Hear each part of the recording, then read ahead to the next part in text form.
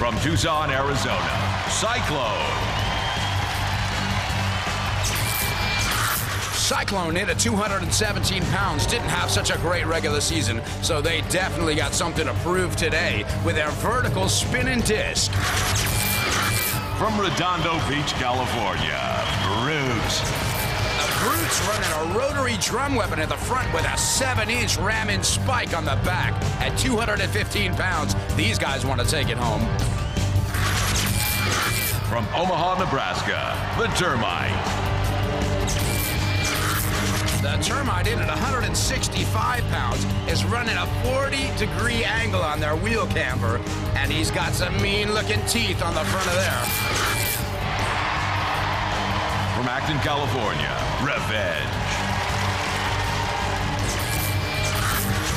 Revenge, powered by some wheelchair motors. He's got some deadly rotating blades, and at 213 pounds, they're going to be throwing their weight around. From Citrus Heights, California, Thor's Hammer. Thor's hammer, the lightest at 114 pounds. He's got a serious hammer to shake things loose. Let's see if he knows how to use it. From East Provo, Utah, Hyperactive.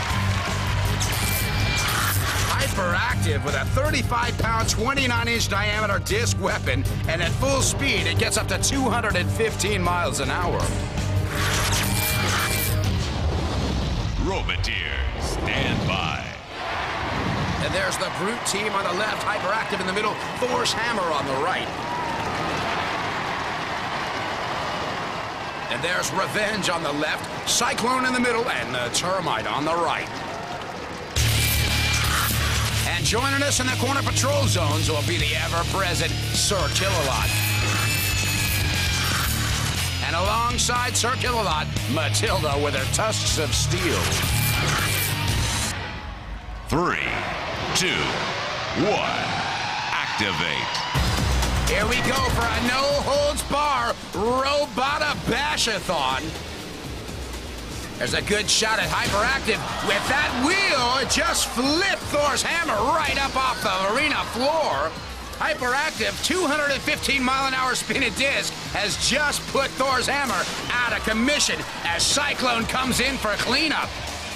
And Little Brute's getting in on the action, going in after the hammer. Oh, this poor hammer has had it. Oh, Cyclone with that spinning disc flips up and over the hammer right out of the arena. Now, we know that hammer was a little light, but look at them now. They are out of commission.